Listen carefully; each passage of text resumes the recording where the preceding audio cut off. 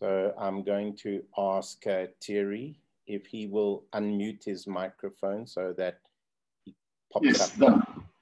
Okay, and Thierry, I have made you co-host and uh, you will be able to start. I, I think um, it was so beautiful when uh, Michaela showed the XTech Lab session in progress. I took a screenshot and um, that, that was great. Thank you. Okay, over to you. Thank you very much. Um, I hope you can see my screen. Yes, we see it. Thank you. Okay, great.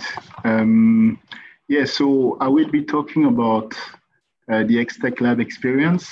Um, as Michele already mentioned, this is a, a facility that was born from uh, an initiative of the LAMP. And um, this facility actually uh, has the ambition to be a feeder facility for uh, the future's Pan-African synchrotron. Um, we are talking about a continent here in Africa where 60% uh, of people are under 24 age. Uh, there are very important, uh, very critical uh, education and training issues and um, these training issues are really affecting uh, badly the socioeconomic development of our continent. Uh, from, uh, according to a recent report from the World Bank, uh, Africa will have to train more than 300,000 scientists and engineers over the last uh, 10 years, uh, just in order not to further lag behind the rest of the world. So these are the issues. And uh, if you look at the situation right now, uh, you will understand that there are problems, structural problems in terms of education because the infrastructure are insufficient in terms of their production of uh, scientists. Poor quality of education most of the time, and even uh, for those who manage to graduate, uh, there's often a lack of practical and hands-on experience. So XTech Lab is uh, an initiative that um, has the has an objective. The objective is to train people um, in X-ray science in general. When I visited Benin in uh, back in uh, September September 2018, uh, I realized that there was a lot of enthusiasm toward X-ray techniques in general.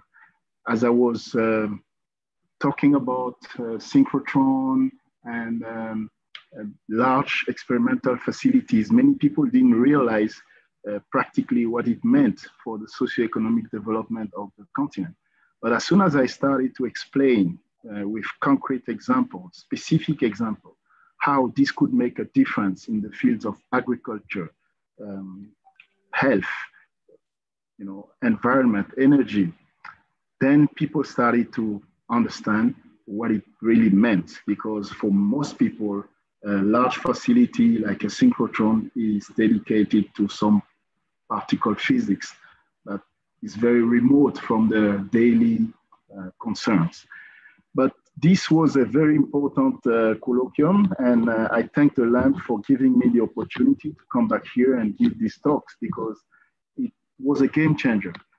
Uh, after that, I met uh, some um, scholars and some officials, and we discussed about the possibility to establish a regional platform that could serve uh, for providing hands-on experience with the use of modern X-ray equipment to develop, because I was mentioning all these uh, specific example in agriculture, uh, health, and, and, so on. They wanted to develop uh, problem-solving skills uh, based on X-ray techniques. And this was um, something that the Minister of Higher Education really insisted on. And also, we would like, of course, XTech Lab to become a feeder facility for a Pan-African light source, a future Pan-African light source, where experiment will be prepared here, also designed, not only sample preparation, but really to think through and decide about a strategy of um, uh, an experimental campaign that will be conducted in, in, a, in a large uh, scale uh, light source. And also what we're doing now, and the example of the ongoing training session is showing it very much, is that we're actually building a community of experts who will participate in X-ray science in general in Africa. And this community is already a reality. From the 2019 sessions, people are still interacting, collaborating, cooperating together uh, on various subjects. And I will, I will name few of these subjects uh, in the next few slides. So what is X-Tech Lab? This is a regional, and I insist on this word regional. It's not only for Benin.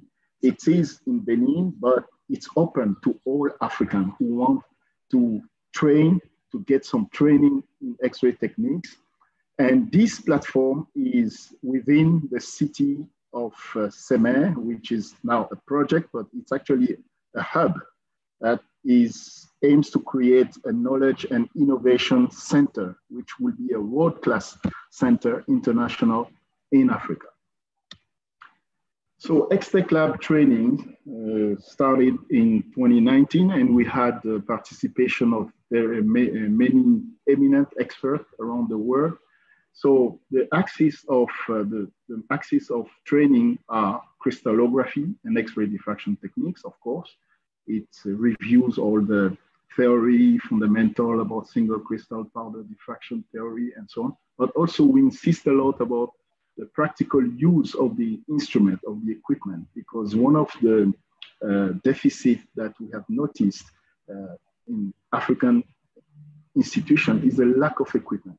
People can manage to reach the master level without having um, had any chance to um, have a, a, practical experience with the instrument. And this is something that uh, uh has been noticed by, by many people. But we also have a second track dedicated to math engineering and X-ray imaging. And why this association? Uh, in Benin, there is a, a, center called IMSP, Institut des, Sciences uh, Institut des Mathématiques et Sciences Physiques. And this institute trained very good mathematicians. But unfortunately, there's no impact of their science on their environment because there's no applied mathematics apart from computer science. And computer science is just a small part of what you can do with mathematics. And uh, working with various scholars and various partners from uh, uh around the world, from um, with our French uh, partners of École Normale Supérieure, uh, CEA, and many other institutions, we realized that actually the mathematical tools could make a very big difference in um, material science because if you combine X-ray tomography with math tools, then you can extract a lot of parameters, morphological and so on, and try and design a new generation of bricks of material that can be used to change um, the paradigm of construction in, in Africa. Uh, since last year, we've been also working with other partners to introduce uh, some uh, uh thermomechanical analysis tools and equipment in the X-Tech Lab platform. And this is becoming a reality. Now, uh, the first two training sessions in 2019 were a huge success. We had uh, uh 50 learners, more than 50 learners from eight African countries and 18 uh, experts from around, around the world, um, France mainly, Italy, UK, the USA, Spain, Panama, Benin, Cameroon, and this was a big, big success as can be, uh, as is demonstrated by the first uh, finding uh, during the first uh, May session, uh, which um, allowed us to um, determine the structure of um, a protein a molecule that was entirely synthesized in Benin. And thanks to the collaboration of the team led by Professor Lecomte, and his co-workers, this structure was determined here in Benin. And this was a huge achievement because this has been published now. And the second session was also a very big success. There are uh, several uh, subjects that are being um, uh, started uh, during that session and are still the object of uh, uh, thorough investigation now, especially uh, in the field of math engineering and material science. The current session, which is a hybrid session due to the situation, the pandemic, is a very special one. Actually, it was uh, it's it's a dream come true because only only few weeks ago we didn't know that people will, will gather and, and, and show up here in Cotonou to attend this session. And um, this is really something I would like to, to, to put to, at the credit of the X-Tech Lab team and also all our partners around the world who made it possible. Can you imagine that in that difficult, this the current difficult situation, we have learners from 36 uh, African countries, including Ethiopia, which is far east, and Nigeria, Cameroon, Ghana, they're all here. And I would like to say hello to all of them the session is cruising very well and all our participants are happy. We have lecturers who are donating their time from France, Switzerland, Botswana, Italy, the UK, Spain, Jordan, to, um, to supervise and, and to lecture during this session. So this is really great. And this shows that when dedicated people interact together, everything is, is possible.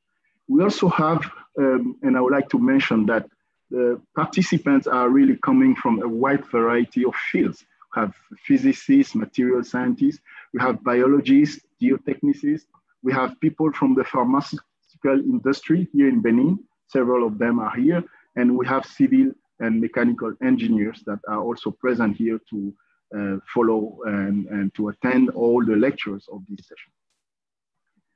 Um, I would like to give you a few examples of what is done here in terms of uh, research.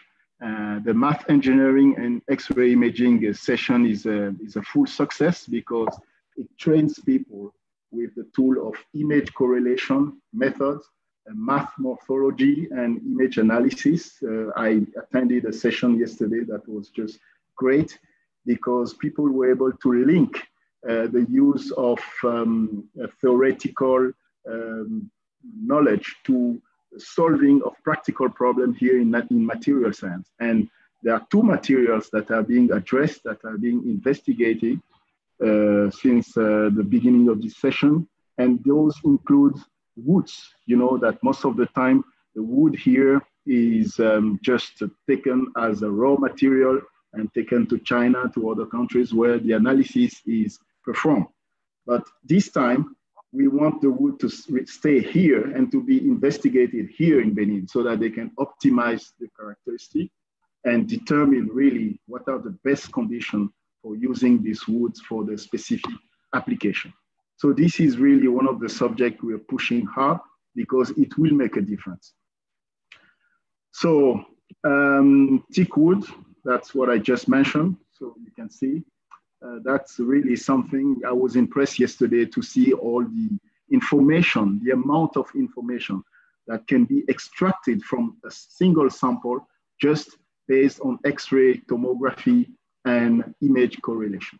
So I really want to thank all the people involved in this research because that's a beautiful subject. Crystallography and X-ray diffraction techniques are still uh, uh, on the way. Uh, all the basics were covered. And uh, now we have a team. Uh, uh, Michele managed to bring ex excellent expert from around the world who are now really supervising and giving high quality lectures to our participants. So that's good. Of course, X-Tech Lab is not limited to these two annual sessions and there are ongoing projects. Um, all the year. These concern the fields of health, uh, sanitation, energy, of course, uh, environmental science. And there are a few projects that are being uh, studied now. So as you can see, we have at least 10 projects that are being supported not only scientifically, but also financially by City, who is a government funded agency. One that minute. is a government funded agency. I'm almost done. Okay. How many minutes uh, left? Uh, one minute. one minute. Okay, that's finished. Almost. anyway, I wanted to insist on the fact that uh, we have all these projects ongoing, scientific meetings are being organized. I have to mention that last year, thanks to the team led by Marielle, uh, practical tutorials were reintroduced at the universities. They were they are they're being suspending for the last uh, 10 years. So last thanks to Marielle and her team, we had this uh, tutorial in crystallography uh, resumed last year uh, uh, at the University of Benin. We're also working on a virtual lab platform that will allow us to conduct uh, practical trainings remotely. All these projects are being uh, are under are underway here in Benin. Of course, services are needed because, as I said, uh, right now the government is funding almost 100% of X-Tech Labs needs, but we have to find a way to diversify our activities towards the industry, and especially we are targeting the mine industry and the pharmaceutical industries to really be able to uh, give services to all these uh, actors of socioeconomic development in Africa.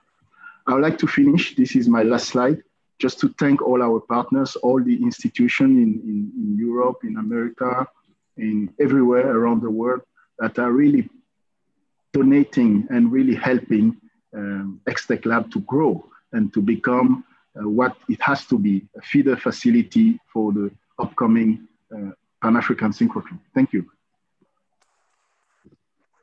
That's absolutely fantastic.